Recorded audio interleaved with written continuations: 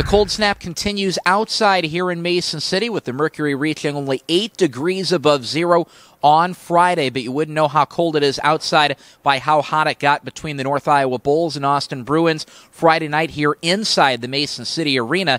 The Bruins ground out a 3 to 1 win over North Iowa despite picking up all of the first 6 shots on net in the game and 12 of the 13 in the first period. It took until the third period on a power play before the Bruins took the lead for good on a goal about six minutes in from Jens Richards. Hunter Garvey made 27 saves in a hard luck loss for North Iowa. Let's take a look at tonight's lights.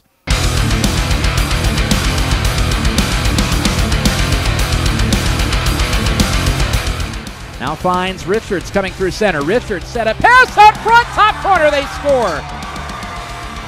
Ocean Wallace driving by, pops it up top, and the Bruins score first. It's 1 0. Messick throws on the brakes, right dot, looking for some help coming in the zone. Drops it back. Hartley, wrist shot, deflected, they score! Might have been off Baker! Bulls tie it 1 1.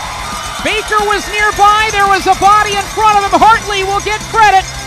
It's a tie game. Byron Hartley Another one in North Iowa has tied it at one apiece. Tip back out high. Larkin off the saucer. Right wing circle. Richards looking to the back door. Got all the way through Zacher. Out to Larkin out high. 45 seconds left on the power play. They throw it to the net and score.